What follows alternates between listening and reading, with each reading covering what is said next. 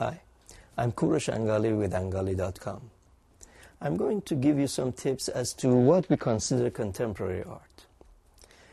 Uh, basically, the art which was created between 1860s, probably, to 1970s, uh, was considered modern art. Uh, whatever was created after that is either contemporary art or referred to as contemporary art or then later as postmodern art.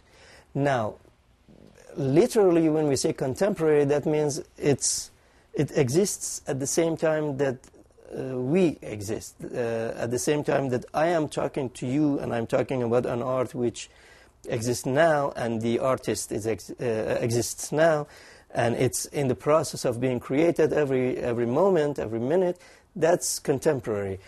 But generally speaking, uh, ultimately, modern art is referred to as contemporary art anyway, but more specifically, it probably refers to the art which was created after 1970s, maybe towards the end, end of 1970s, but then 80s and 90s, and up to uh, this moment.